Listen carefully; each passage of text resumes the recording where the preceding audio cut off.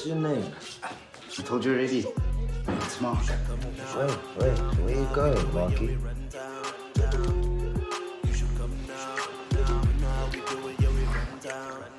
Oh, shit. Oh. I didn't see anything. Not that there's anything to see. Oh. Don't forget to use protection, kids.